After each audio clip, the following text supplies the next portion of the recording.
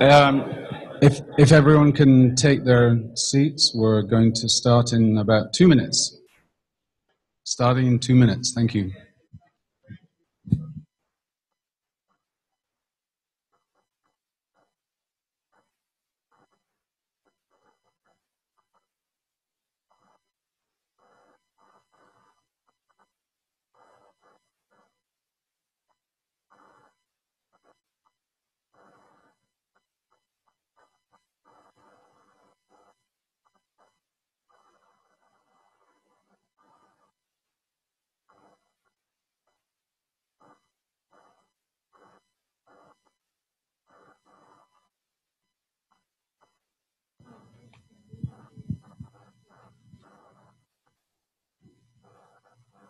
Okay, so if everyone can get their last snacks and move to their seats, we'll, we'll get started. We, we like to start on time and, and uh, be disciplined about that. We find it, it works out best for everyone. Um, so, my name's Andrew Etherington. I'm a, a senior account manager with, with E&M, an industrial automation company. Um, and I'm, I'm uh, with Shaun Edwards from ROS Industrial here, who's going to really give you the meaty part of this workshop, uh, the reason that you're all here. Um, but I'm just going to uh, go through a couple of things, uh, administrative things, and just talk a little bit uh, in, the, in the way of introduction. So, a few weeks ago, my wife asked me um, why I had so many pairs of socks with robots on them. And and I said, well, you know, there I, I, am working with I'm helping robot customers, so I've I've socks with robots on them. It seems logical. Um, she said, but three or four years ago, you only had one or two pairs. Now you've got loads. What's up with that? What's going on? And I said, well, that's interesting because it is true that three or four years ago, uh, I was only working with one or two robot companies, and now I'm working with lots of robot companies. And, and, and I said to my wife, I said, Well, you know, I think I've got the greatest job in the world. I love looking for robots, whether they're stationary or mobile robots. This is what I do. I look for robots. I've, I've got some great uh, industrial sensor products uh, from SICK that I sell that are, are succeeding very well in industrial robots, and, and it's a lot of fun. Um, but my wife says, well, when you tell it like that, it sounds like you're responsible for this whole explosion of robots around the Bay Area. And as much as I would have liked to have said, yes, it was me that did it, um, it, it wasn't really. It was a number of, it was a number of factors. Um, there was a great article in uh, IEEE Spectrum recently, which was a reprint of an economic article uh, theorizing that right now a Cambrian explosion, like the Cambrian explosion in evolution, was happening when, when there was a sudden burst of diversification of lots of different species. Um, the article uh, hypothesizes that the same thing is happening in robotics, because that's what the evidence is showing, is that there, there are a, a number of technical factors and things that have come together uh, at this time that are resulting in an explosion in, in the, uh, the number of robots um, that, that are around. And the, there are other, um, you know, some of them are anecdotal and some of them are hard facts, some of them are hard market data. One of the ones I like um, uh, explaining how robotics is growing is Frank Tobe. Uh, he publishes the Robot Report online. He observed that uh, three years ago, there were uh, a total of 13 industry analyst reports um, reporting on the robotics market. Uh, that was three years ago, just 13. And this year, uh, it's only September, and there have already been 53 uh, of, of, these types of analyst reports uh, published, which means that there's a lot of interest and something's going on, and it certainly correlates um, with my experience. Um, but what we're here to talk about today is, is, in my opinion, one of the things that's really stoking the robot revolution and stimulating robots everywhere, and that's the robot operating system. Um, and so we're, we're, uh, we, we have put this workshop together. Uh, it's sponsored by SICK Industrial Sensors. Uh, and E&M, we are the California uh, distributors for SICK. And uh, we uh, are doing our part to help stimulate the uh, robotics industry around here and, and promote uh, ROS because we think it's, it's really is helping uh, the robot revolution. So, just a couple of uh, housekeeping things. Page up, page down.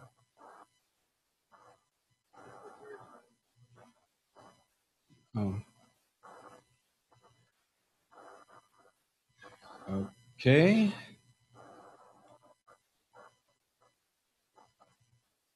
I'm clicking.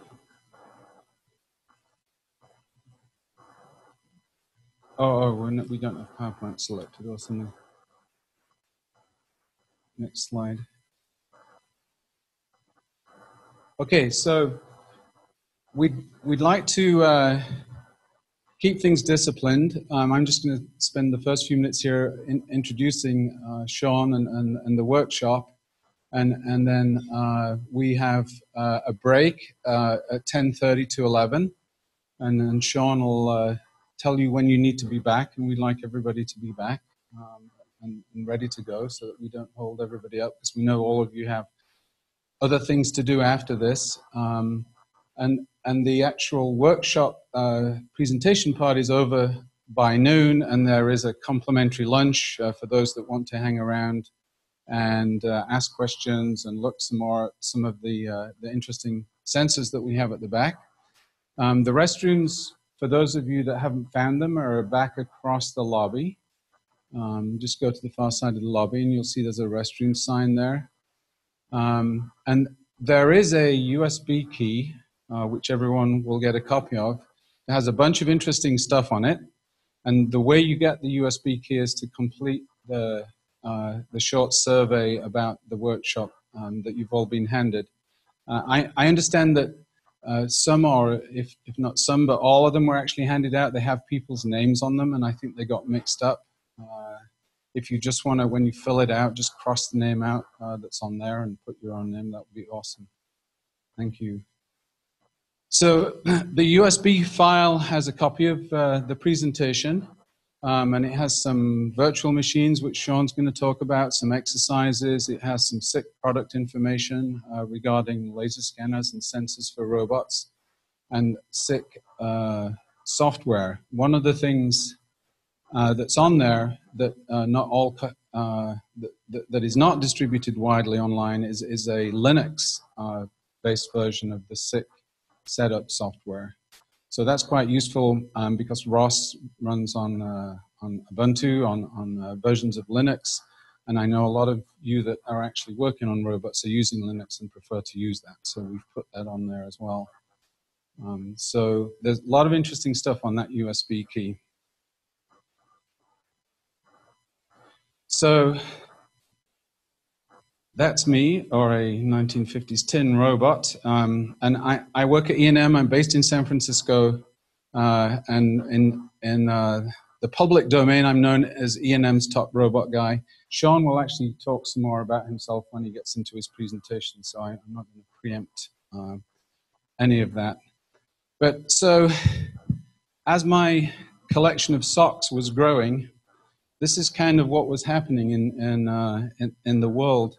Um, Willow Garage, uh, uh, who created ROS, was founded in 2007, and uh, they they developed uh, ROS um, and put it out in the public domain, version 1.0, in in 2010.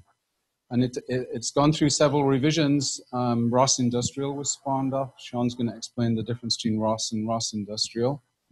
Um, and in parallel to that, SICK uh, and, and myself were working with uh, SICK optical laser scanning uh, products. We're probably best known for the Google Street View cars. Every one of those cars has got three of the large long range uh, SICK scanners on it, and we became well known for that.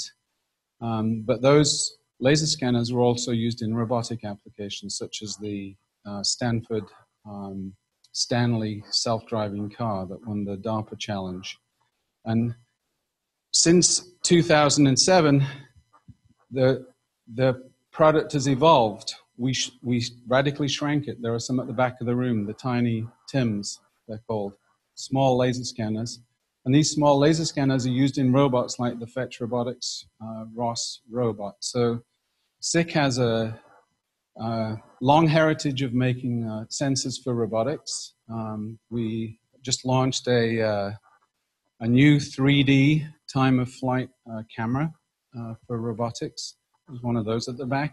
Um, you're actually the first large room full of people to actually see that uh, this 3D industrial 3D camera in, in the country. It was just released. So take a look at that. If you're interested in 3D uh, uh, point clouds, that then it's it's pretty cool.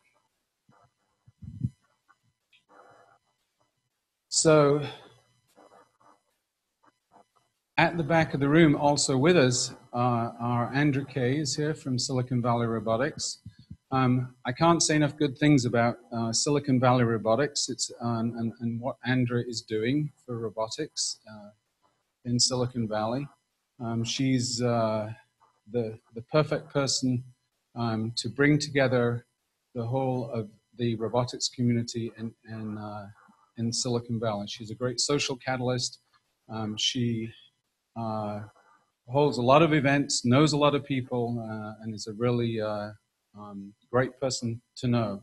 Um, she's at the back of the room. She'll tell you more about Silicon Valley Robotics, but she's helped us um, with this uh, with this workshop, and we want to thank her for doing that.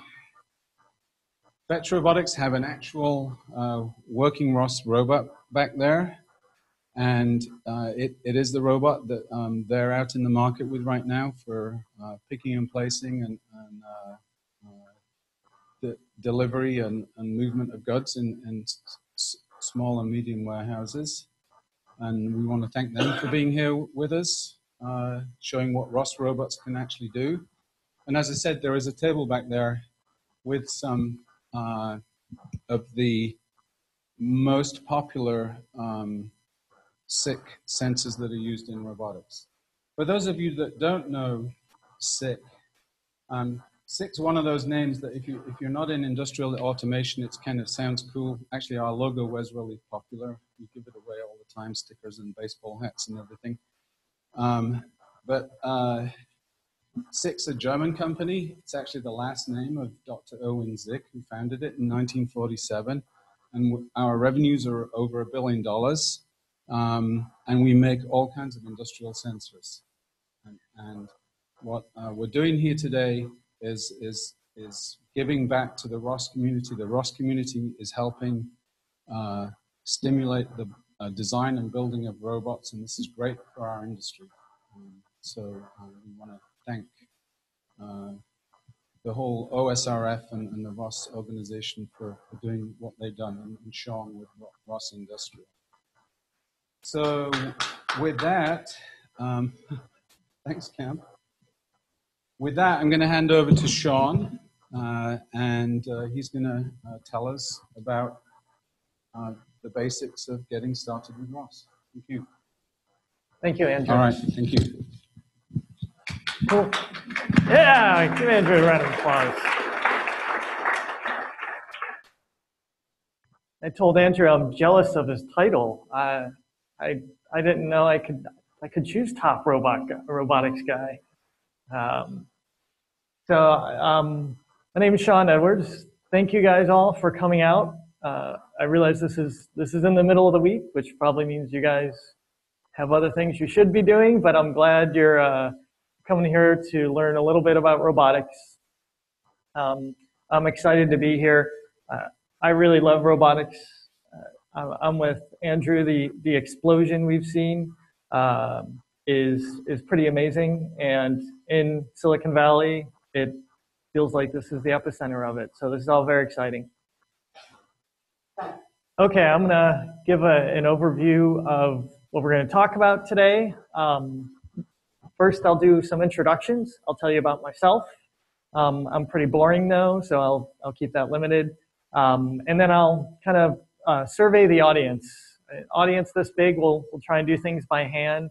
Um, but, you know, I've given this presentation or similar presentations a lot. Um, and I like to tailor it for the audience. So those questions I'm going to kind of ask um, are, you know, just to get to know you guys and, and really make sure this presentation speaks directly to you, to this audience. We'll talk about ROS and ROS Industrial uh, capabilities. I'll give you a high-level overview, um, and we'll we'll touch on some technical details, but not too many. And uh, then we'll move on to applications.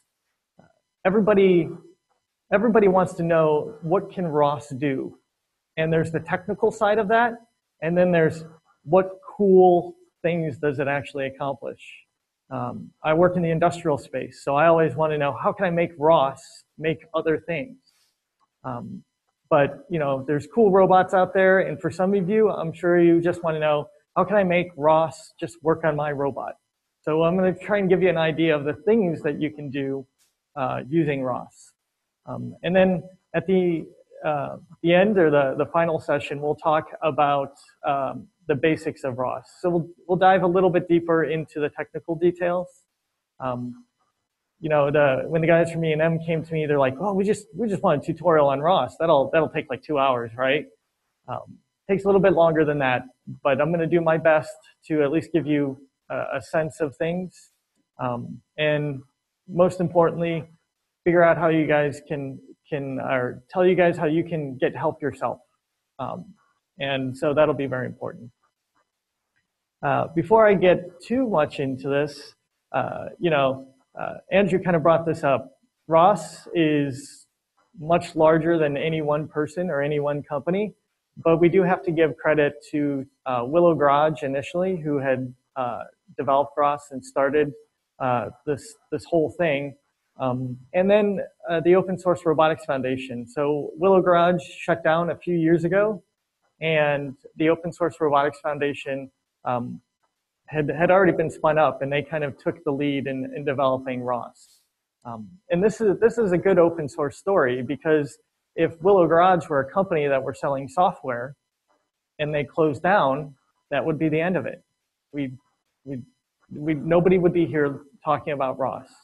Uh, but because it's open source and because there's a community around it and because there are organizations like OSRF, it lived on well beyond Willow Garage. Um, that's it's a pretty important takeaway, I think. All right, I'm going to get to know you first. Uh, so, show of hands, um, what's, what's your background in robotics? How many of you consider yourself just a hobbyist? You just want to play with robots? Good number, good number. I'm a hobbyist, but I get paid to do it too, so I'm not sure what group I fall into. Um, what about academics? Uh, Okay. And then how many how many are from industry? How many are lucky enough to get paid to do this stuff? That's a good number. Uh, just last week, I was watching a robot that we had been programming for four months, and I was just watching it go. It was actually working by itself at that point. And uh, I was just amazed that we can get paid to do this kind of stuff. Um, and it's only getting better. Um, so, of the audience, what's the primary interest in robotics? How many of you are interested in mobile platforms? Well, that's a good number. Um, how about manipulators an ARM? Making your, okay. Um, uh, drones? Good number. Is there like a really cool robot type that I don't even know about? No, those three kind of cover it. I'm, I'm always hoping there's going to be something really cool. Somebody's going to be like, I got the new next robot. They're going to share it with me. Um, so uh, I want to kind of understand what people want to take away from this um, this class. How many of you are hoping you go from that, that you can just program your robot with ROS after this class? Hoping. Sure. How many of you aren't interested in programming, but you're, you're, you're here so that you can tell engineers below you to learn how to program their robots? Nobody's going to admit to that? Come on, there we go. All right. Um, That's good. So, uh, you know, I'll try and keep it high level, but there's enough detail for the guys who, guys and girls who really want to program robots. Hopefully, we'll we'll give you enough information so you can do that. Uh, background on myself. Uh, my so I'm a senior research engineer at Southwest Research Institute. Um, everything we're showing you shows, says ROS Industrial because you know that's that's kind of our product. But Southwest Research Institute um, and myself, we initiated ROS Industrial. Um, and the, I'd say a lot of the developers are at Southwest Research Institute, uh, but at this point, more than half are actually external at Southwest Research. But we're still a big player in the ROS Industrial world. Um, I have 10 years of experience just in manufacturing R&D in general. I've done everything from program a PLC for a machine that makes boxes um, that was like my first task. Um, and uh, within the last couple of years, I programmed the largest robots in the world that strip paint off of fighter aircraft. Um, so there's a, a big, um, a lot of different applications that I've been involved with. Um, about three years ago, we started ROS Industrial because we kind of saw this wave coming. I don't think we predicted it would be as big as it is at this point. Um, but uh, you know, we saw the wave of ROS, and we saw applications in manufacturing, the stuff that Andrew was talking about that uh, SICK does. Um, you know, those kinds of sensors and those those applications. Um, and we felt like we could pull ROS in that direction, and I think we've done a really good job of doing that. Okay. So a little few more audience questions. Who, how, how many of you are somewhat familiar with ROS? Okay. How many have no clue what ROS is? Okay. How many are experts? Well, good. Christina works with me. You should be raising your hand. She is an expert. By the way, she can answer questions too. And so if I don't make it clear, she can clarify. um, who has uh, programmed with ROS in the past? Uh, who has not? Oh, there's a lot of knots. Okay. We might spend a little bit more time on the basics then. Um, but that's good. Um, and how many of you understand the difference between ROS and ROS Industrial? Yep, I'm horrible at communicating. Thank you. Uh, I'll try and clarify that. And uh, the fact that you don't understand the difference isn't so important. It's okay, I'll explain. All right. Um, here's an introduction to ROS. Uh, these slides were shamelessly stolen probably five years ago from Willow Garage. Um, but we, we give them over and over again because they really do uh, nail, nail down exactly what ROS is um, and um, do it in a very concise manner, even though I'm up here kind of talking and blathering about it. But first off, why did they create ROS? What, what was the need? You know, why, why did somebody feel it was worthwhile to invest so much money uh, into developing software and then give it away? That's, who, who does that? Um, so it started out at Willow Garage, and the majority of the people at Willow Garage were um, academics, or they had come out of academia. And they were researchers in robotics, and really, really good researchers, all very smart and intelligent. But what they found is that um, there's a lot of reinvention of the wheel. You go to university labs, they weren't working together. Everybody started from scratch. I did when I did my master's thesis in robotics. I started from programming drivers on up. Um, and, you know, it was just reinventing the wheel. Uh, software engineers, it just goes against our, our grain to do that, right? But that's what's what, what was happening.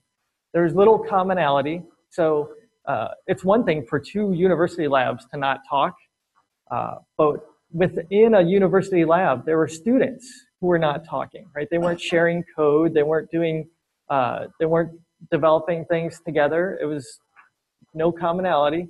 Things have short lifespans, so if you are a grad student, your robot worked exactly long enough for you to get your PhD and no longer. Um, and once you left, they put that thing on a shelf and they say, look, we built that once. And that was it. Um, So what you'd like to see is, you know, building, right? Grad students building on the works of, of previous grad students. And there was, there was some of that. The best labs certainly did that. But the majority of labs, they, they created paperweights and, and PhDs. And then uh, an inability to compare results. So from an academic perspective, you know, if you create perception algorithms, for example, you would like to compare your perception algorithm to somebody else's. And before ROS, what you would do is you would spend months, if not years, getting your perception algorithm just perfect.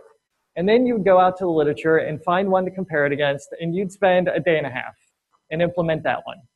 And then you'd compare, and lo and behold, the one you spent a year working on, it's better. And that's how every robotics paper read.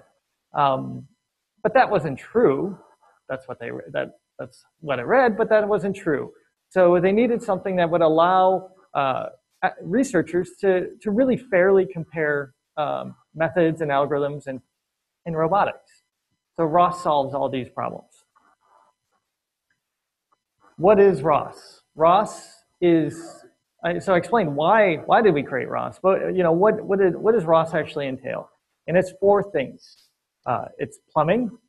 Um, so how do we get things to talk to each other? Um, tools. How do we make it easier for us to develop um, robotics uh, capabilities? So if I have a robot or I have an operating system, uh, I would expect that that operating system supports what I would want to do with a robot. Capabilities just out of the box. I shouldn't have to develop capabilities from scratch. Um, and then ecosystem. You know, an ecosystem is this. We're all in a meeting together. We all work for different companies, but we've all come together around ROS. Um, and, uh, you know, ROS is a worldwide eco- ecosystem. There are developers and users all around the world, and we all collaborate in an open source way. So, all right, a little bit detail into what is plumbing. Um, so imagine you um, you have a, a, a, camera that you want to talk to, right?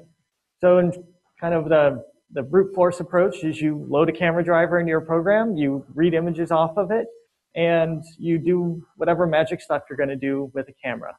Um, but that's only so helpful because then you're tied to a specific camera or you're tied to a specific library that talks to that camera. Um, it's not very flexible. So imagine a world where you kind of decouple those things and you say, I'm going to work on perception algorithms because that's what I'm good at, and somebody else is going to work on camera drivers. And then we're just going to agree to send data back and forth between our separate software processes, and we're going to agree on that format.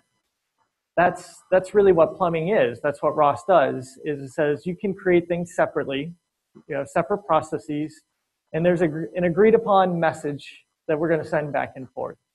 Um, the, the, the value in that, one of the values in that, is that it almost forces you to make your code modular when you, when you do that, right? That's a good thing. Modularity is a good thing. Uh, the other thing is, if you're, uh, you're writing a camera driver in C++, that's the language I would like to use, but somebody wants to write perception algorithms in Python, not sure why, but maybe you would. Um, those two can't talk really, right? It's not like we can easily link those two together, but we can through ROS because it, it again defines the messages that you're going to send back and forth independent of the languages we're working in. So uh, one, one value of this is now you get companies like SICK saying, okay, I create laser scanners. There's a laser scanner message. I'm going to make sure that whatever drivers are written for devices like a laser scanner, SICK laser scanners, they produce this, this message. So it's, it's a, when you think about it, it means that you can take a SICK laser scanner and drop it in your, your robot program and it will work. But it also means you can take any other laser scanner and do that. Um, and some, some vendors, I deal with a lot of robot vendors in particular, they don't like that very much because then anybody, you can just swap in and out sensors. They become a commodity. Um, that's not entirely true. You know, when you're looking at laser scanners, there are things that certain vendors do very well, and there are things that other vendors do differently, right? So you're really comparing on specs. But um, what I like to tell vendors is if it doesn't have a ROS driver, at this point, this community is going to move on. We're just not going to consider that. We're not even going to think about trying it. So it doesn't matter if your sensor is better or not. Um, so yeah, it makes your stuff a little bit of a commodity, but it also, if you don't have it, we're not going to consider it. And it's good. When this community gets large and it's getting larger, that we, we pull a lot of weight. ROS's tools, um, things like visualization. You know, it's much easier to debug a robot system where you can see all the data that you have. Um, things like logging. Nobody should ever have to write a logging program ever again. Um, it's just been done over and over and over again. So those kinds of tools, you know, viewing logs, dissecting logs, those tools have been developed in ROS.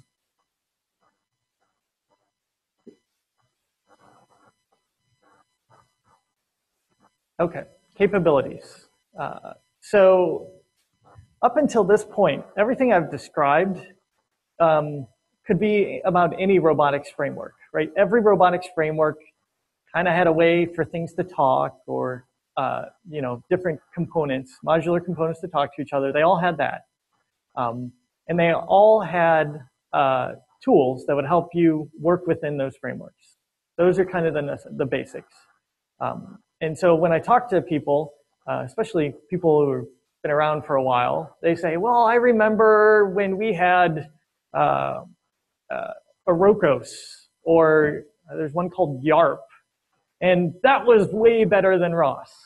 Um, and you know, I don't, I don't get into arguments about technically on those two, two um, uh, based on like uh, plumbing and tools, which one is better. It doesn't matter in my opinion. They're, they're about the same. Maybe they're not, doesn't matter. Uh, capabilities, that's the first thing that differentiated ROS.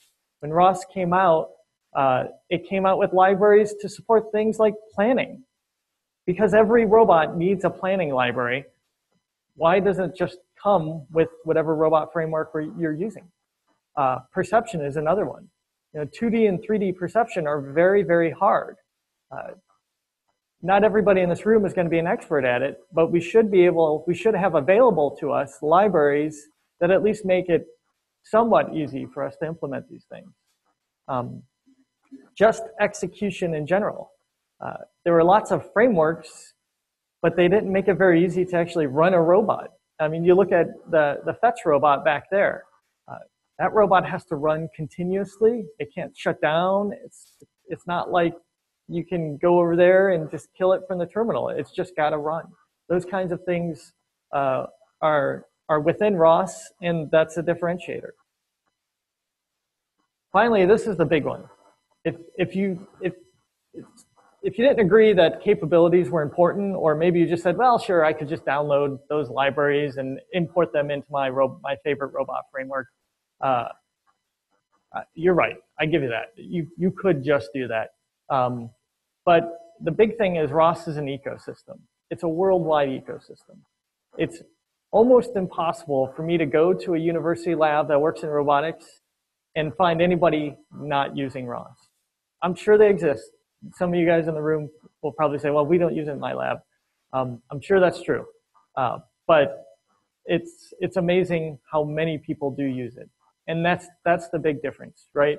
That is why E&M and SICK are interested in ROS because they know if they support it, it's, it's going to have this broad reach and that's good for us because we get good support from the vendors and we can build better, cooler robots. And it's good for them because they're going to make some money. And that kind of feeds itself. Um, but this is the big differentiator. No other robotics framework has this, this level of ecosystem. In 10 years, will that change? Maybe. But for now, this, this is the uh, good one. If we look at the community, if we just want to look at some numbers, uh, we can look at uh, every year, or well, now about every year, OSRF puts out statistics on the usage of ROS, and that's where these numbers come from. Um, if you just look at the number of wiki pages uh, that are describe and wiki pages describe ROS packages and give you things like tutorials. Um, you know, this is all user generated content, but you can see the number of uh, wiki pages that are being generated and the growth in that. Um, and then you can also see the number of unique IP addresses um, downloading ROS per month. Uh, and that's, that's pretty incredible growth. Um, you know, I don't know that it's 50,000 people necessarily, because I have at least two or three computers that I've downloaded ROS on. Um, but, but still, that growth is pretty impressive.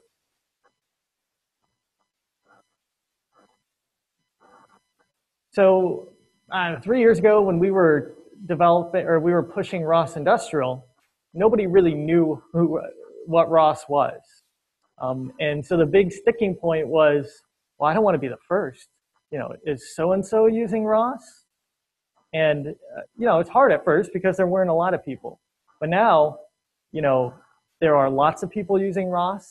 It spans, you know, some of the best universities in the world. Um, it spans startup companies. Um, you know, it's in fact it's pretty difficult to find a robotic startup that isn't using ROS in some way. Um, but it also the, there are some very large companies uh, that that use ROS as well. They're they're less public about it, um, but it's it's pretty impressive when a big company like Caterpillar has a has a team of people working on ROS. Um, I think that's uh, very, very impressive, especially for companies that move, that, that really don't move until they know it's, it's going to work. Um, and so when, when they throw their support behind something like ROS, that's important. Um, so when we started ROS Industrial, uh, one of the things we realized was that we had to get companies engaged in using ROS. Uh, like I said, when we went out there three years ago, everybody wanted to know who else was using ROS. Um, so we started this consortium because we're like, at the very least, it will force people to put their logos on something associated with ROS. And then we can say, see, Boeing and BMW and Caterpillar and Ford, they all use ROS. They support the ROS Industrial Consortium. Um, so again, there's no question these days about, well, who else is using ROS? um, because of things like the ROS Industrial Consortium and you know startups and everything that are that are very public about the usage of ROS. Okay, I'm going to show a video of what ROS can do. Um, this is the five-year video of ROS.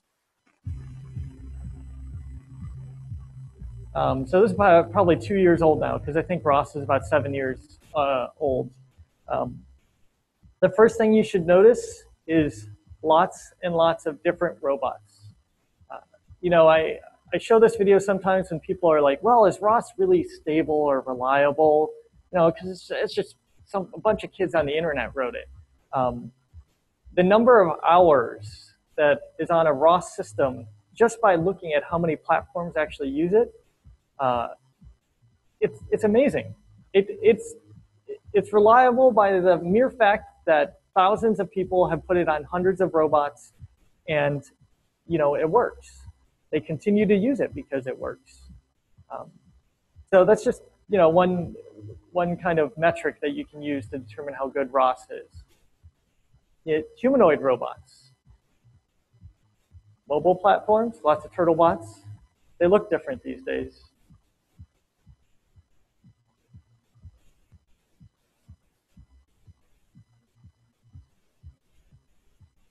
industrial platforms. So one feather in my hat is Southwest Research was the first to use ROS on an industrial platform. So we, we were at Willow Garage there, so I think they deserve some credit too, because they helped me, they helped me get it working.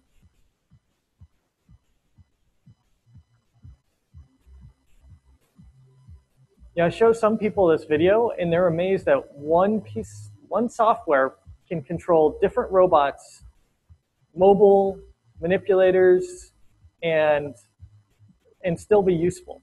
The, the, a lot of people are very surprised at kind of the broad application areas of ROS. As software engineers, and probably everything, every most people in this room, We just expect that. But, you know, go up one level of management and they're amazed.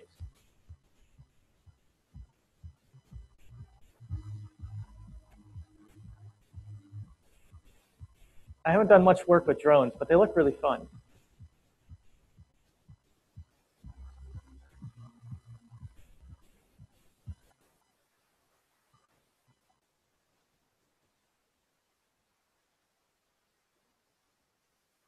So these, if you look at the list of these companies, they're some of the best universities in the world and the most forward-thinking companies. Uh, it's, it's clearly a community and clearly a force to be reckoned with. All right, what's ROS Industrial? Um, how is it different than ROS is always the question I get. So, you know, I can start with the same thing I started with, with on ROS, which is how um, or why why, why did we feel the need to create something called ROS Industrial? Well, in the industrial space, we have limited development tools. Uh, I don't know if you guys have ever programmed a FANUC or an ABB robot, um, but it's 1990s technology at best. Um, and it really prevents you from doing anything really cool. And that was holding everybody back. Um, so they had limited capabilities, uh, you know, things like vision, that wasn't even included in robot packages, you know, until recently. So, you know, they just, they, they, they were behind the curve. And it was funny that you could go on the internet and download something that had more capabilities than you could buy for fifteen or twenty thousand dollars. Um, no portability or flexibility. So uh, in the industrial space, it's all about keeping you working on one uh, with their products, right? And they develop whole tool suites to make that easy. Um, but the result of that is I can't then transition to a different product. So if I program on an orange robot, I can't then transition to a yellow robot very easily. Uh, in this day and age, it, you just can't do that. It's just not the way um, software should work. And then slow technology adoption. 10 years ago, they were doing things in universities. Uh, it was bleeding edge work. It probably still hadn't made its way into the industrial space uh, because somebody had to see that and then go through the painful process of transitioning that technology. But if we look today at ROS and ROS Industrial, it means the cutting edge algorithm that somebody develops within ROS can immediately be deployed on the industrial platforms. So we can we can improve the, the pace of technology adoption. It's always going to be slower in the industrial space. Maybe they'll take, we'll be two or three years behind the curve. Um, but we're definitely going to improve it. So I told you kind of why. Why did we uh, start ROS Industrial? But everybody wants to know what is it? How is it different than ROS? And the primary reason is it's market focused. Uh, we focus on the needs of the industrial space. Uh, this includes all manufacturing, anything that happens kind of under a factory. Um, and the reason you have to do that is you have to sell ROS differently uh, to those, those groups of people, those markets. Um, and they have to feel special. They don't want to download the same ROS that somebody in a university can download. They want ROS Industrial. It's important. Um, and so we felt that it needed to be separate for that for for that reason. But there's also some technology focus. So I'll be the first to admit that the core of ROS, we depend on the core of ROS, um, and that's okay. Um, but we do add capabilities if and when they're needed. So for example, just dealing with industrial hardware, things like the SICK sensors, the SICK LiDAR sensors, um, industrial robots, uh, industrial I.O. networks, um, PLCs, those kinds of devices exist on factory floors. Nobody in the ROS community at large was really interested in developing those kinds of connections or drivers. So we filled that role. Um, and that allows us to kind of connect ROS to industrial systems. And then we, we talked about extended capabilities, things like we do in industrial spaces all the time. Um, painting, welding, grinding, those aren't those aren't fun and interesting research problems. So again, the broader ROS community probably wasn't going to attack those. But those are really interesting to people like, like myself who work under ROS Industrial and um, my, my colleagues that I work with. We're very interested in solving those kinds of problems. So when we develop tools for that, we push them into ROS Industrial. And that's the differentiator. Um, and really, ideally, we would take all of the tools and all the interoperability and we would just push it into ROS. Because technically, there's no reason there can't just be one ROS. Um, it's mostly for market reasons that we talk about ROS versus ROS Industrial. Um, and you'll probably be seeing some other market-focused uh, ROS efforts in the next few years. I'd be surprised if you weren't. So at a glance, uh, if you look at ROS Industrial, I just talked about kind of the things we build upon. Um, this is a good picture of it. The, the three lower layers there are the connections to industrial devices. So we created libraries for connecting to all different kinds of industrial devices. The one I'm showing right here is for industrial robots. So you could literally plug into any industrial robot. So that was the first thing we did. Um, and then after that, after we proved that you can actually do that because people didn't think that was possible, um, we then started moving up. And as you move up, you, you move into capabilities. Um, so I talked about these special planners for things like welding and painting. Um, you know, those, those are up there in the, uh, the middle layer there. And then as, as we're getting into actual deployments, we have to create interfaces for these things. Interfaces that people in the factory will understand um, and, and, and seem familiar um, to them. And, you know, there's slightly different, there's a slight difference between industrial applications and maybe um, commercial or consumer applications. Um, and so we feel like ROS Industrial is going to go there next. I'll give you a, show you a video of ROS Industrial and what it can do. This is our three-year video.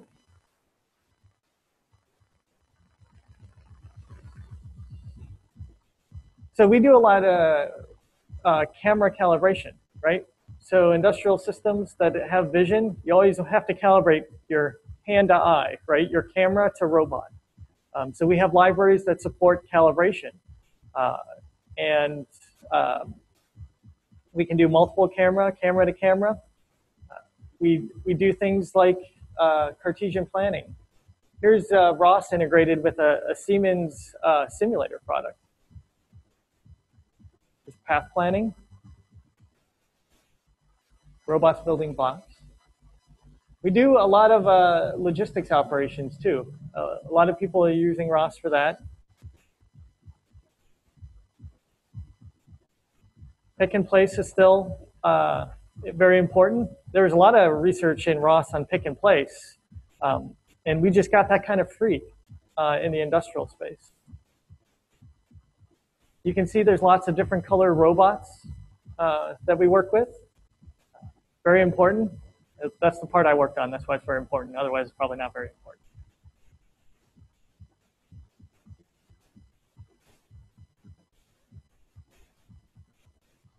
So here's a routing application. So again, they're very industrial, most of these. Um, I'm not sure they were generally interesting, uh, but you know, to, in the industrial space, there's definitely a need for them.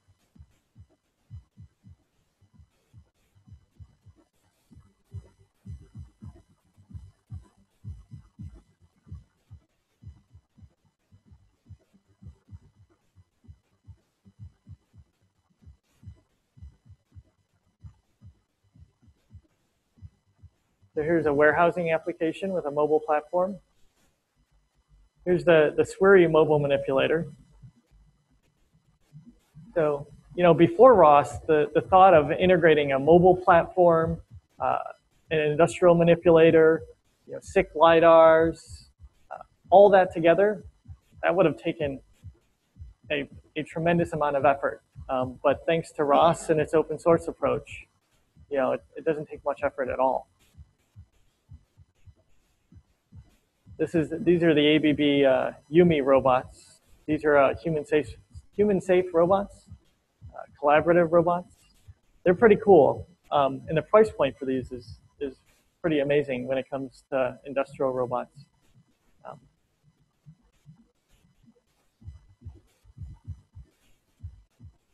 so we'll move on. Okay, so I'm going to take a little bit of a pause because that was a lot of information, right? Gave a high-level overview of ROS, um, into a little bit of the details, the four things ROS is, you know, plumbing, tools, uh, ecosystem, and capabilities, right? Um, and then I talked about why why ROS was created and you know why was and, and how is ROS Industrial different than ROS and why it was created. But I was going to give you guys a moment. Any questions on, on some of that material? Okay, I'm, I'm going to limit to two or three, but go ahead.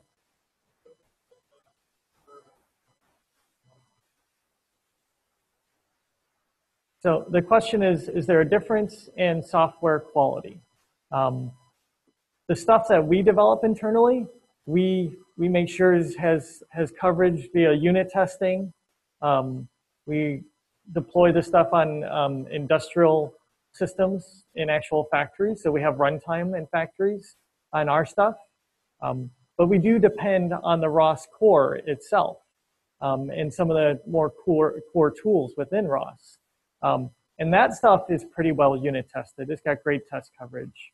Um, it's also been developed by some of the best developers that, that I've ever worked with. Um, there's this kind of idea that it was just a bunch of people on the internet who, who thought they could program. Um, but really, when it comes down to it, there are better developers in the ROS community than some companies have access to. So um, I think our goal at ROS Industrial is not to create something separate, but it's to make people aware of you know, the robustness and reliability that is ROS by itself, um, and then facilitate making it better, certainly. Um, but we would all live in a, in a, a good world if there was just one secure, reliable, robust version of ROS. And that's always the goal. So not, not too much different, not, not any more secure, reliable uh, for ROS Industrial.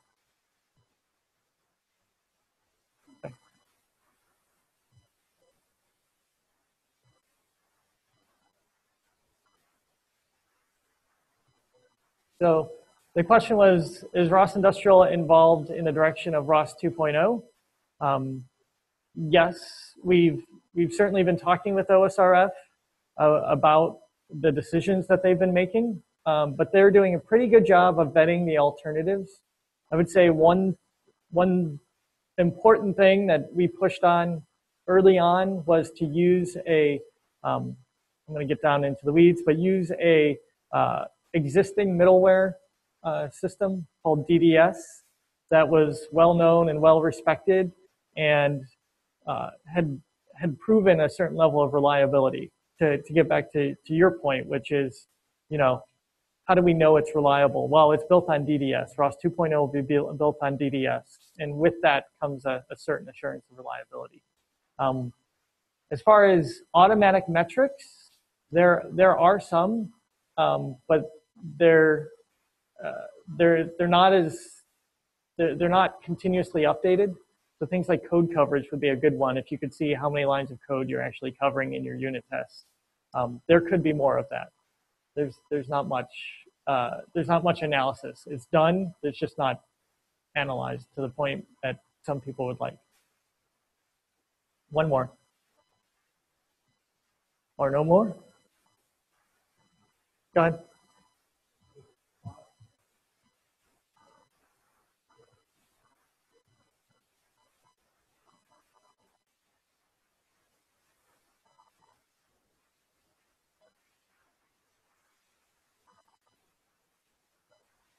No. So the question is, there, is there some kind of organization that makes sure that, you know, ROS and ROS Industrial, uh, you know, they that that there isn't any conflicts between them? Is that the, yeah. Um, so there's OSRF who manages ROS and a few other open source projects. Um, and then ROS Industrial has the ROS Industrial Consortium, which actually exists under Southwest Research Institute but is its own kind of entity. Um, the companies that are in the consortium uh, give technical input and uh, provide technical direction. There isn't any formal process to make sure nothing breaks. Um, we we do interact quite a bit, so that doesn't tend to happen. But with this transition to ROS 2.0, for example, uh, OSRF is driving a lot of those decisions. You know, we have our input, but they they they basically decide what what happens, um, and we're comfortable with that, and we'll just adapt to it on the back end. Um, you know, when it comes to making ROS Industrial work with ROS 2.0, um, you know, it'll take us a year or so, but you know, we'll we'll we'll work closely with OSRF to make sure that transition happens. Okay. I think I'm doing pretty well on time. So, all right. Uh, so hopefully, if if you're a nerd like me, you saw all that technical stuff and you're like, this is awesome. Plumbing, tools, capabilities, ecosystems. Tell me no more. I will buy it. It's free, by the way. Um, but not everybody's like me. Uh, a lot of people want to know, okay, what can I do? You know, who cares if there's plumbing? plumbing doesn't matter. You know, can I make a robot take over the world? Uh, so I like to give some applications. Uh, a lot of these are industrial focused because those are the videos I have access to. Um, but you saw kind of the, the uh, initial video, the initial ROS video. There are lots of applications of ROS. Um, but I'm going to give you some concrete examples, tell you why I thought, hey, this was cool and worthwhile and noteworthy. How many in the room are familiar with the DARPA DRC? Wow. How, did, how many people participated in the DARPA DRC? Okay. All right. I was going to be jealous. I was going to have to come up and, and shake your hand if you did, because we didn't. Um, so the DARPA DRC, the, the main idea behind the DARPA DRC, it was a it was a challenge, right? DARPA has been putting on these robotics challenges for the past decade, um, and they've been pretty successful. Uh, but the idea behind the DARPA uh, DRC was the um, the idea that so when there was a nuclear disaster in Japan, right, Fukushima, uh, they had these whole systems that were set up to be operated by humans. So they had valves that were meant to be turned by humans. They had switches that had to be turned off, but they're all designed for humans. And but now it was a wasteland. You couldn't send people in because it was it meant certain death. Um, so everybody in this room is like, that's what robots are for, right? Robots are supposed to go in there and do things where people can't do things. I mean, it's an obvious place to use robots. But they couldn't because the technology just wasn't there. Robots aren't good at dealing with human interfaces, whatever they are, light switches, valves, uh, various tools. Robots just don't do that stuff.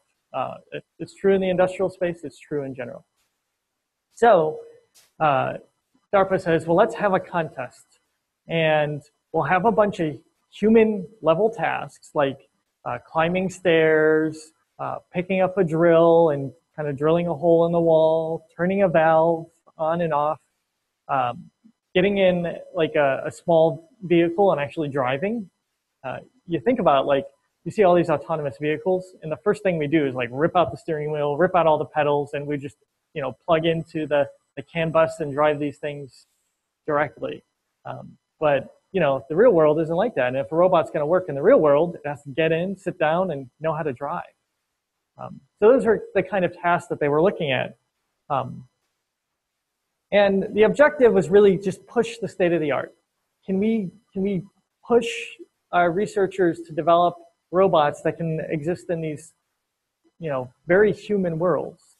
Um, and, you know, we create a contest and let's see what pops out the other end.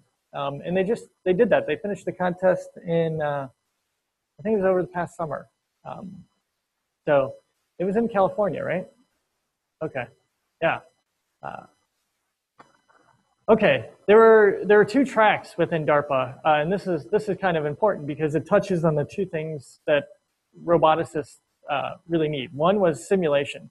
Um, it's really expensive to spin up robotics hardware, and it's time consuming to iterate on robotics hardware. Um, you know, as software developers, we're used to, you know, run. Oh, did it work? No. Okay compile, run. All right, you know, it's very easy for us to iterate. Um, in order to do that in robotics, you really need a simulator. You need to be able to simulate your environments, be able to bring up arbitrary environments very quickly, bring them down, and iterate.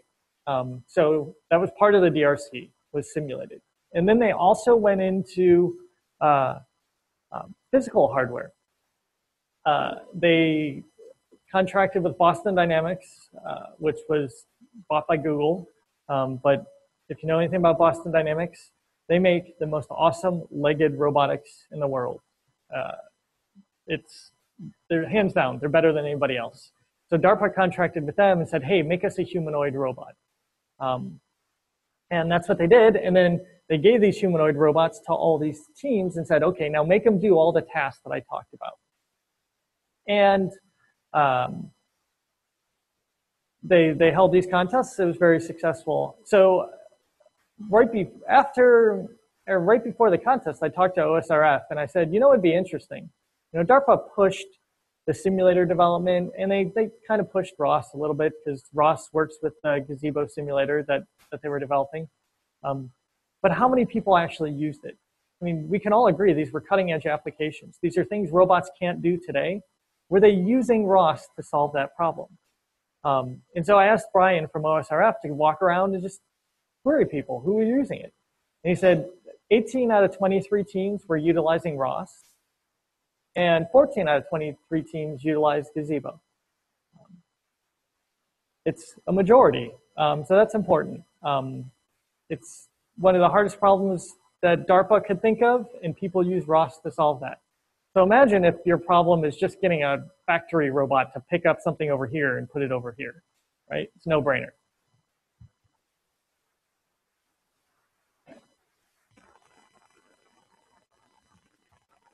So I know I, I, might skip past a little bit of this since most of the audience is familiar. Um, but the first thing you're seeing in the, the robotics challenge is the simulated environment. This is Gazebo. And Gazebo, by the way, is also uh, um, supported by OSRF, the Open Source Robotics Foundation, and it's easily integrated with ROS. Um, so if you use ROS and you're going to use a simulator, a simulator you're probably going to use Gazebo. Um, but you can see uh, it's kind of amazing the level of detail. Uh, this is really cool, picking up a hose and, and plugging it in. Um, the cool thing about the simulator is it simulates everything down to the hardware, down to the motor control loops if you wanted. So the cool, the, the, the thing about that is that means I can take my simulator, pull it out, and put in my real hardware, and it should all work the same because that's how simulators work.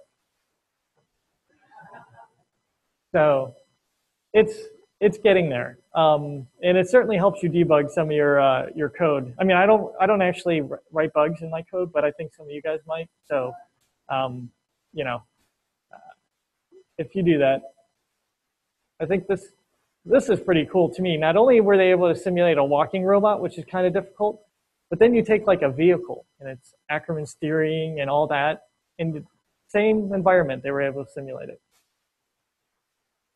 Here's cool robots doing things. So people always tell me that I'm kind of a pessimist. So I really like the DARPA video where they show the robots falling over. But that was they said I couldn't show that one here. So you should all go home and look at that one because that's kind of funny. Um, and we should cel celebrate our failures as much as our successes in my mind. Okay, so why is this amazing? Why is this so awesome that I felt the need to spend five minutes talking about it? Um, first, they're human-sized robots that walk and manipulate objects. I give a lot of tours to students. Everything from like little kids, uh, I have a four-year-old, by the way, so I, I give him quite a few tours, up to high school students, and I show them robots. And they're like, oh, that's not a robot. It, it, it doesn't walk or talk or do anything interesting. Um, and you know, my ego deflates. Like, but I get over myself, or at least try to. This this is a robot by anybody's definition. It walks. I'm not sure it talks, but we'll get that's easy enough. Put a speaker on it. Um, it's just cool, uh, and uh, it's cool that you can do these things in ROS. One other thing that they did that um, I'm not sure too many people appreciate. So Gil Pratt was the, uh, the PM at DARPA, um, and he really appreciated this, which is um, they skipped the autonomy problem. Everybody here wants to make a robot that, you know, does dishes, folds laundry, whatever horrible thing you hate doing. You want to make a robot that just does that by itself. It's very hard to do that. Um, so what they did in the DARPA challenge and what Gil Pratt is a big proponent of is skip the autonomy problem. You know, do get, get a 90% solution and then allow the person to come in for the last 10% because that's what we're good at anyways, problem solving, right? Our robots may get there one day, but you know, they showed with the DRC that a good combination of autonomy and human intervention will solve problems that otherwise couldn't be solved. Um, and I think uh, came out two weeks ago that Gil is starting a, a research lab, um, Toyota. That yep. Um, and this is this is his big push. Is not completely autonomous cars, but cars that help people drive better. Right. All right, we're going to get into an industrial one. So if you go to any large equipment manufacturer, right, people who build tractors and dump trucks and airplanes, they do a lot of CNC machining, right? So this is, you know, you take a CAD model, you send it over to a, a CNC, it has a big piece of metal on it, in it, it whittles it all away, and out pops the finished part. And more or less, it works that way. So you go into these factories at, you know, an aerospace customer, for example, and they're big buildings with big CNCs and not a person to be found. Um, and that's completely automated. That's great. And it's, it's generally a, a time consuming and kind of boring job to do, uh, just, you know, to CNC these very large parts. Um, so that's all great. And when the part's done, they put it on a cart and they wheel it to a building next door. And that building is full of people. And what they're doing is they're touching up the machining. So they're breaking edges on parts, they're grinding out tool marks. So here we are in this world, this day and age where, you know, cutting metal is completely automated and taking a grinding wheel to a finished part still is an army of people. Uh, it's a horrible job. Ergonomically, it's really bad. Um, you don't want to uh, breathe kind of the, the, the fumes that come off when you're doing these grinding operations. You work under a vent hood all day. It's noisy. Awful, awful job. Um, so, you know, we really want to automate this, right? If you wanted to automate this job, there's the, there's the current way that it's done in industrial robotics, which is, okay, you have a a CNC part, you have a CAD model associated with it. I'm going to pull that into my, we'll call it ten to $100,000 offline programming package for robotics. And I'm manually just going to pick things in, you know, in the CAD model, tell the robot to, uh, you know, grind down this edge or make sure this surface is flat. Going to do this all offline.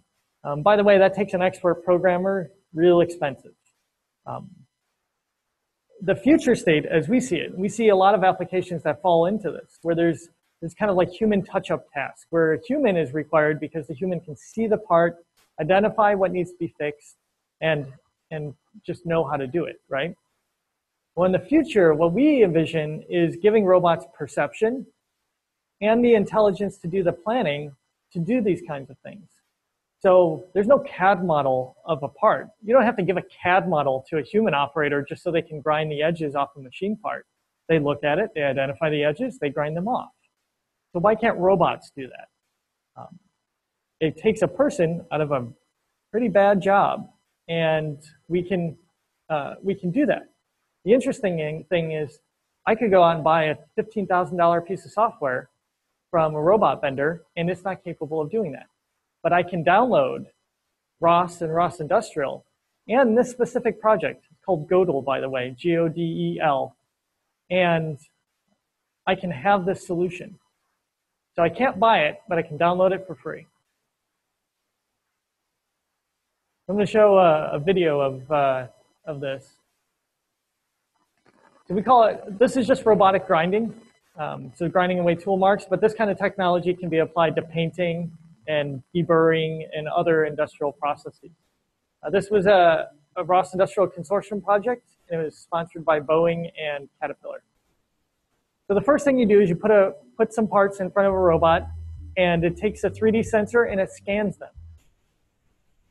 And within that, we analyze the data, and we need a human operator still to tell us what surfaces to touch, but they can do this remotely in a nice air-conditioned office, and they're just telling the robots what to do, or what surfaces that they need to process. And then the robot's smart enough to say, okay, I'm going to figure out how to uh, grind that surface, and then as a second step, I'm going to take a, a, a high accuracy laser scanner and do QA in process.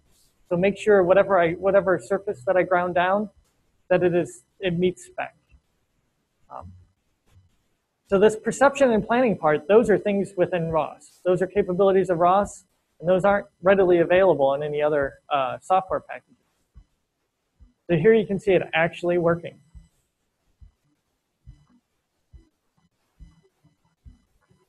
By the way, you see the visualization, right? This is one of the tools within ROS called RViz. Uh, it's invaluable for debugging something like this. Um, you know, it, it shows all of your kind of execution logic and your sensor information and geometry all in one spot.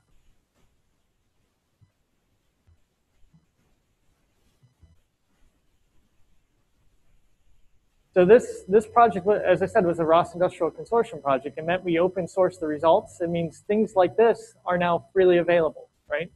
Again, this is the ROS community working.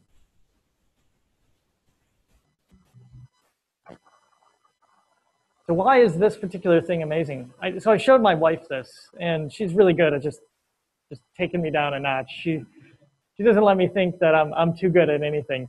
Uh, it's probably good because otherwise my head would be really big and it went through doors and stuff. So um, why is this amazing? Well, uh, it's it's completely CAD free, right? People look at this and they expect, well, robots should just know how to do that. But the reality is they can't. Today's uh, today's solutions to this problem require CAD. Um, and believe it or not, the CAD system doesn't always talk to the production system in a factory. Um, there's probably, you know, two or three systems in between there that don't even talk to each other. Um, so we can do this without CAD. That means customers can deploy the solution without having to go to their IT department and beg them to, you know, jumper the Ethernet cable between things. No offline programming, that's expensive. Offline programmers, very expensive, and it's time consuming. And if the CAD doesn't actually match what is produced, that never happens. Um, it happens all the time. Offline programming just kind of fails. Uh, no configuration management. Again, I don't have to connect my systems. They don't have to talk because the robot can just sense the parts and deal, deal with what's at hand. Uh, three integrated 3D perception and intelligence uh, with automatic path planning. Uh, believe it or not, industrial robots aren't good at path planning. They're really good at following a, a bunch of taught waypoints. They're not really good at figuring out what those waypoints need to be. Um, but ROS is very good at that. There's, uh, and then when you have this automated process and you have high accuracy sensors, right, and they're connected to ROS, you can do this in situ quality assurance, right? I can not only operate on a part, but now I can make sure that it meets spec. And that is something a person can't do. Um, so we are streamlining the process. We're adding automation. We're reducing costs. We're getting people out of a, out of a, a poor environment. This, this is actually an, an easy one to sell to customers. All right, mobile manipulation is another one uh, that, uh, you know, a lot of people, when I asked, hey, do you care about mobile platforms? A lot of hands went up. There were fewer hands for manipulation, but here we get them both, right? We have a mobile system with a manipulator on it. Um, the reason this is interesting from an industrial perspective is traditional industrial robots are bolted to the floor and they, they don't go anywhere. Uh, this means you know, if that, whatever is within three or four feet of the robot, that's all it can reach, that's all it can deal with. It's not very flexible. Um, you know, it's, it, it's very limiting, and it means if you have two stations, you have to have two robots. But what if you could have a mobile robot? So your robot could just move to stations. Uh, that, that's uh, very attractive to a lot of uh, uh people doing production and um, manufacturing. So uh, we set about, and this is this is um, this is actually client funded for Southwest Research. Um, they they gave us a problem and we said, hey, we, we need to develop a mobile manipulator to solve this problem. Um, and so we set about to create an integrated system with mobility. The application area was actually um, very similar to what Fetch does, which was uh, warehousing. You want a mobile manipulator to actually pick orders, online orders or factory orders, whatever it is. Um,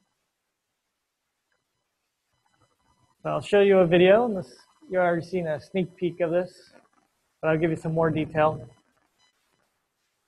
So the, uh, the mobile base has, uh, is omnidirectional, has mecanum wheels, so it can actually drive sideways. It can spin. It can do really cool things.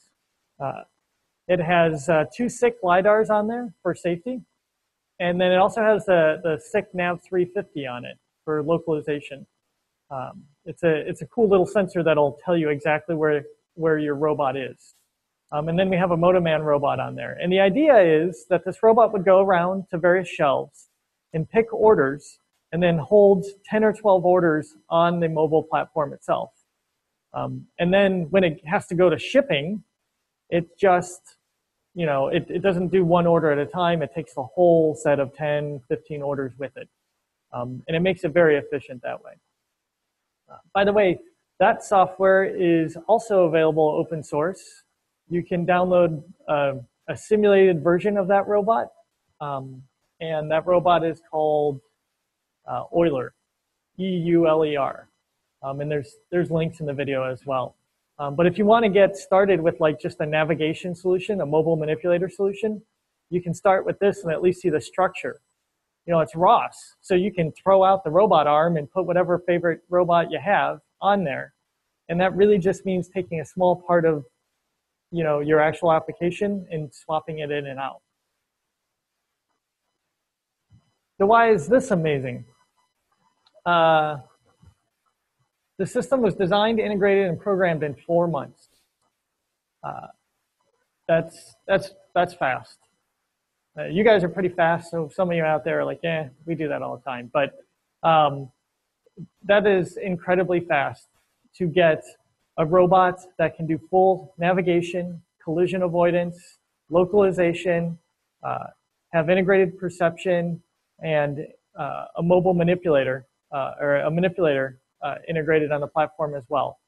And bring all that to a demo in four months and sell it to a bunch of VPs for the for the next project. Uh, it without ROS, that probably would not have been even remotely feasible. Um, so it you know that alone, and I think that's why you see a lot of startups embracing ROS, which is in four months you can go from nothing to something you can put in front of your investors and say, see, it's real. Um, let's see, what else do we have on there? Um, yeah, we had some. So it was really neat. Uh, the the the SICK uh, lines laser line scanners for the safety and the nav 350. That stuff was online. We just had to like download it. And the nav 350 was a slightly different sensor, so we actually took some time and adapted the SICK drivers to work with this new sensor. But then we just pushed it back out there, open source again. So, um, you know, it's it's one of these things where we take a little bit, but we also give we also give some back, and we get a lot of support from vendors like SICK and you know uh, in this case Motoman. Uh, we use their robot. We got a lot of support from them. Um, but again, we're building this community. Uh, it's one of the important differentiators for ROS. All right, uh, let's see, how am I doing on time? Got 10 more minutes, it looks like. So uh, we'll, we'll go through this one quickly and then we'll, we'll have some more questions. Um, so this is the combination of all cool technologies today. Uh, we have a mobile robot with a manipulator on it. Very, very cool. And then we combine it with 3D printing. I mean, that, that kind of project just funds itself. I mean, people just throw money on that. You, uh, you, you can't use it, too many buzzwords to describe that, really. Um, so why are we interested in doing this kind of thing? So we're interested in large scale 3D printing. Um, you know, it's not enough. You might have a, a 3D printer that can has like a three foot by three foot work area. No, we want to print buildings, right? In order to do that, you need something big and heavy duty. That's the industrial part. And you need something um, that's mobile. It can't just be fixed, right?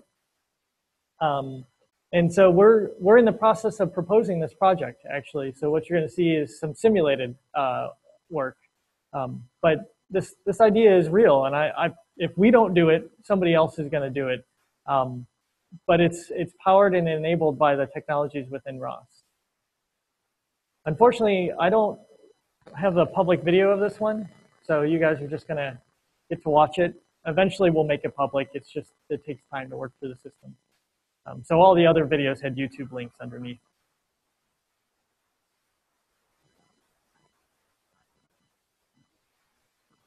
So the idea is you would have, you know, this large heavy-duty uh, manipulator and a, uh, um, a, a system that delivers concrete and then kind of shoots it out the front of the robot. And just like with 3D printing, you'd have a CAD model. You'd have to then give that CAD model to some software, we'll call it ROS, and it would figure out how to make the robot build that, build that actual model.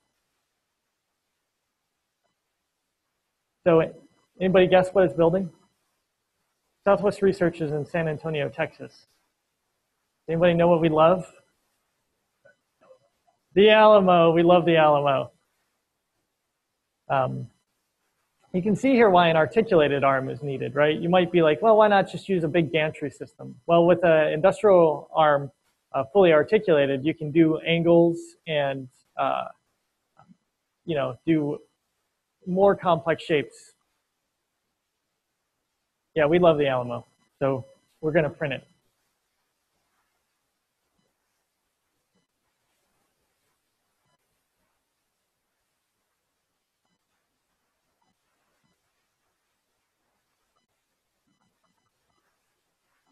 it, this is still very much a concept.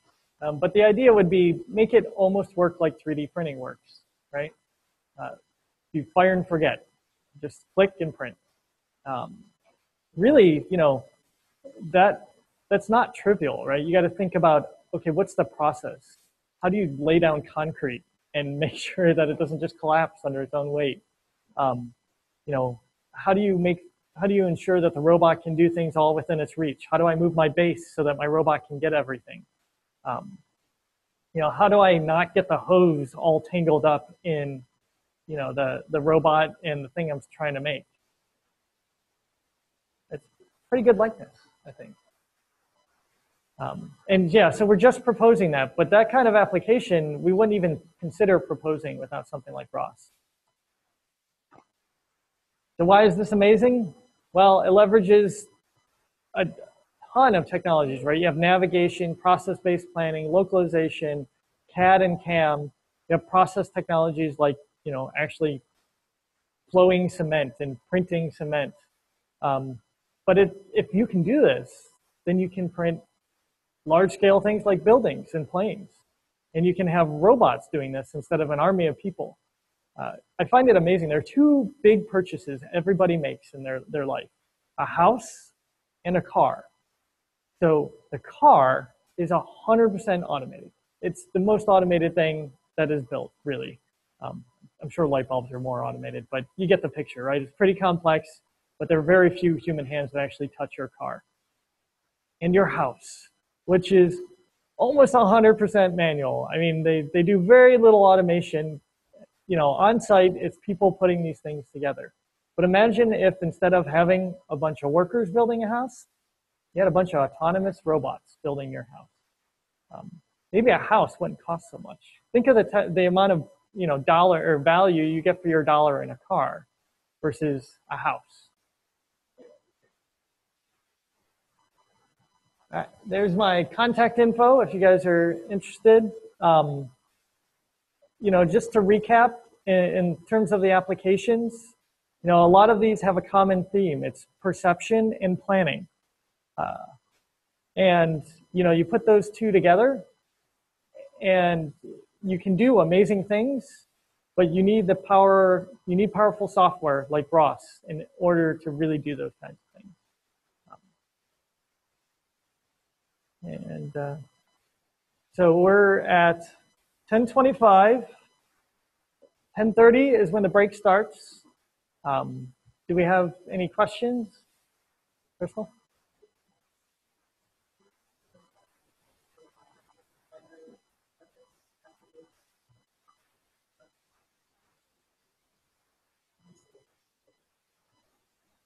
Um, yes, we've we've seen a lot of that, and we are we are in Texas, and there's a lot of that in Texas.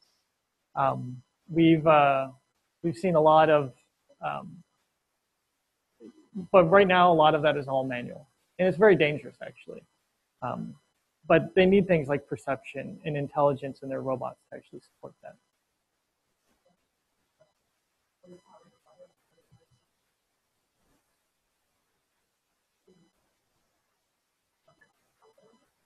so there's the question has to do with uh, 3D printing, like metal, metal powder, um, uh, selective sintering or something like that. I we, we haven't done anything. It, so some people are leaving. I want everybody to know that we got to be back by 11. I'm happy to answer questions for the next five minutes or so, but we got to be back by 11. The guys at uh, E&M are very sticklers about this, so, which is good.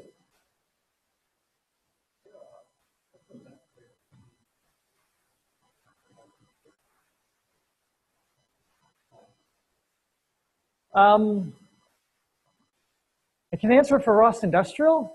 Uh, you know, we have, if you go to rosindustrial.org, we have tons of videos that we're working on. Um, you know, for ROS in general, it's it's generally, you know, because it's so distributed and everybody uses ROS for their own things. You you kind of you could go to the ROS wiki certainly. Um, and it'll give you a hint. You'll see the technology, but you maybe won't see all the, the, the, the videos that show the application. Yeah.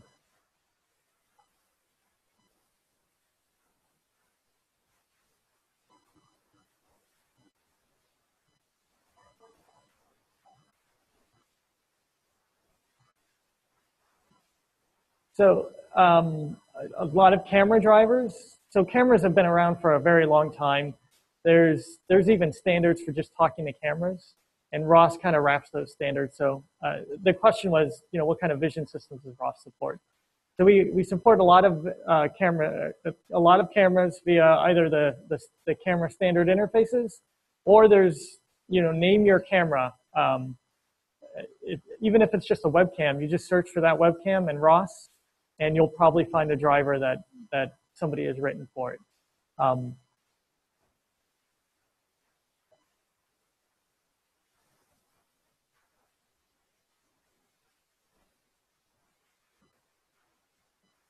yes, that's true. So the, the question is whether the, the, the um, whether we use third-party applications within ROS. We don't use commercial applications like Cognex or Keyence. We do use open source libraries like OpenCV. Um, and uh, Aravis is a, a, an open source camera driver that runs a lot of cameras. Um, and then in the 3D world, there's the, the ASUS or the Microsoft Kinect-like sensors. Everybody uses those because it's 150 bucks. Anybody can buy them. Um, we're working, so you saw SICK has a, a, 3D sensor back there. You know, we're going to work on a driver for that as well. Um, so the, those aren't, you know, there's less support on the 3D side. There's a company called IFM uh, that makes a 3D sensor. There's a, a, really good driver for that. But because these 3D sensors aren't haven't been around for very long, they're custom interfaces for everyone. It just takes longer for those. Um, once you have that driver, though, we use PCL, which is the point cloud library, and that's our open source library for doing dealing with 3D uh, perception.